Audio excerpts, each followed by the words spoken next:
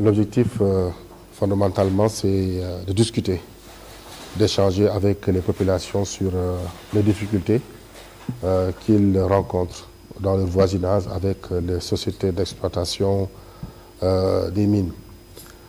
nous nous sommes rendus compte que les conditions de vie des populations sont quand même très très difficiles. Vous vous rendez compte qu'il y a des zones où il n'y a pas d'eau potable. Il y a des zones où il y a un déficit criard d'électricité. Il y a des zones où les aspects sanitaires ne sont pas trop, sont trop négligés. Euh, il y a des zones où les jeunes en tant que tels pas, n'ont pas d'emploi. Et parfois même, ils sont exclus ou bien chassés des zones d'exploitation d'orpaillage, donc d'exploitation artisanale de l'or. Euh, ce qui fait qu'il y a des pertes de revenus euh, de ces jeunes-là, mais également des populations. Nous avons également euh, été, nous avons été dans des zones où ces populations également perdent leur champ, perdent leur terre. En réalité, l'assertion selon laquelle les ressources naturelles appartiennent au peuple ne sont pas vérifiables ici au niveau de, au niveau de Kédougou. C'est la raison pour laquelle nous avons eu à rencontrer ces populations-là, discuter avec elles. Mais surtout, la dernière étape était de réunir les journalistes avec qui nous avons, ils ont, les journalistes à, qui on a accompagné pour faire euh, des enquêtes, euh, des investigations dans le secteur extractif. Aujourd'hui, ces journalistes-là, qui viennent de Dakar, mais également qui sont au niveau de, de Kédougou, parce qu'à Kédougou, il y en a qui ont fait des enquêtes au niveau de la zone de Tombron-Koto. Il y en a également, surtout Kédougou FM, euh, qui a eu à faire euh, euh, des, antennes décentralisées dans plusieurs villages, dans plusieurs localités de la région de, de, Kédougou.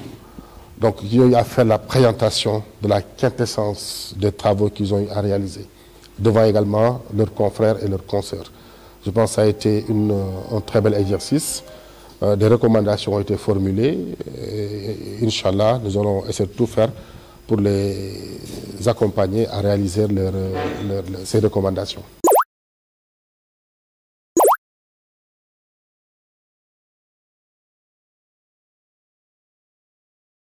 Suite au décret qui a été pris par le président de la République euh, pour suspendre euh, l'exploitation minière au niveau du fleuve Falémé, en déterminant une distance de, 70, de 500 mètres de la rive gauche du Sénégal. C'était pour nous également, en tant qu'organisation de la société civile, de venir euh, constater euh, l'application ou non de ce décret.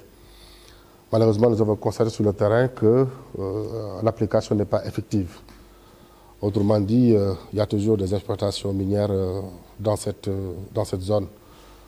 Et c'est la raison pour laquelle nous invitons le gouvernement à revoir même le contenu du décret, à revoir également sa stratégie en termes de contribution. Nous disons au gouvernement que la question de la FLME ne peut pas uniquement être réglée par la partie sénégalaise.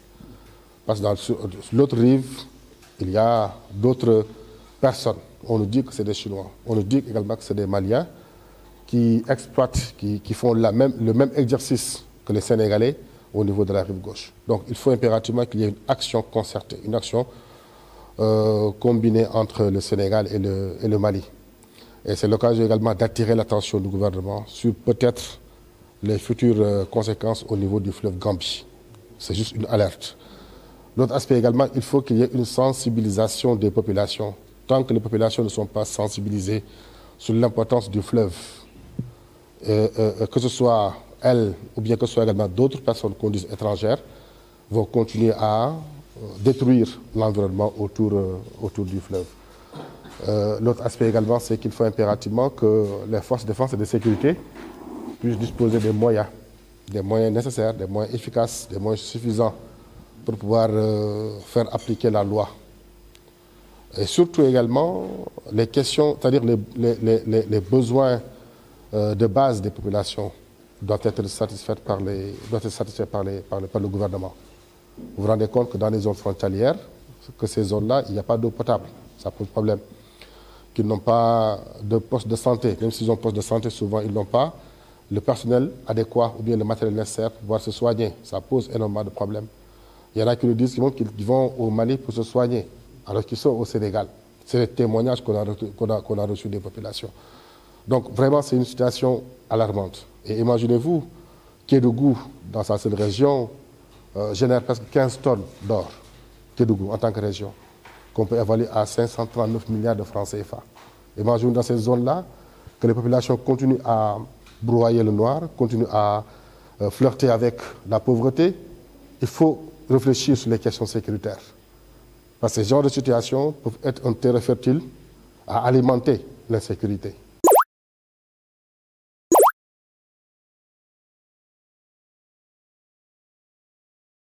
Le, combat pour la transparence et la redevabilité dans le secteur extractif, surtout au niveau de Kédougou, ne peut être gagné sans l'accompagnement des populations. Ce combat ne peut être gagné sans l'accompagnement des journalistes.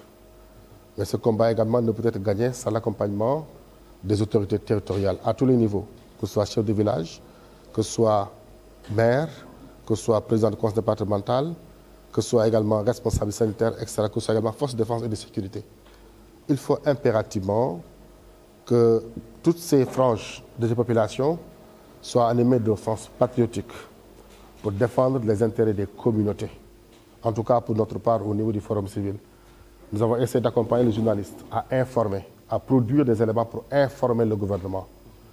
Nous avons également essayé de mettre en place des structures euh, territoriales qu'on appelle euh, observatoires territoriales du secteur administratif avec l'accompagnement de l'USAID. Donc c'est des cadres qu'on a mis en place ici à Kédougou, qu'on a mis en place au niveau de Saraya, qu'on a mis en place au niveau de Posanto. Hier, on a mis en place l'observatoire territorial du secteur administratif au niveau de Tombronkoto. C'est des structures qui sont composées que de populations autochtones qu'on va former sur la réglementation euh, des mines, qu'on va former sur le contenu local, qu'on va former sur euh, la responsabilité sociétale d'entreprise, qu'on va former sur le suivi euh, des plans de gestion environnementale. Donc, on, va essayer de les armer juridiquement pour qu'elles-mêmes, en tant que population, puissent se défendre devant ces entreprises. Mais il faut impérativement que les autorités locales les accompagnent dans ce combat. On a eu à organiser des sessions de, des sessions de formation à l'endroit de certaines collectivités locales. Mais souvent, il est difficile de les inviter que les maires viennent. Il y, a, il y a des maires qui viennent. Je prends l'exemple du maire de Saraya. Quand on l'invite, il vient. Mais il y a également certains maires, souvent, vous les invitez avec les difficultés qu'ils ont au niveau de la localité, mais ils ne viennent pas. Donc il faut que ces, autorités-là euh, euh, euh, aident les populations. Parce que les entreprises génèrent de l'argent. Les entreprises génèrent des milliards ils produisent du chiffre d'affaires. Que ce soit, je prends les deux grandes entreprises qui sont souvent célèbres, que ce soit PMC, que ce soit également SGO, ils produisent du chiffre. Mais ces chiffres-là doivent générer impérativement ce qu'on appelle des, du fonds d'appui au développement local. Mais vous vous rendez compte, souvent, c'est des entreprises qui ont tendance à euh, faire des dépenses minimalistes au profit des collectivités locales alors qu'ils ne paient pas ce qu'ils doivent à l'État, ils ne paient pas ce qu'ils doivent aux cultures locales, ils ne paient pas ce qu'ils doivent aller aux, communautés.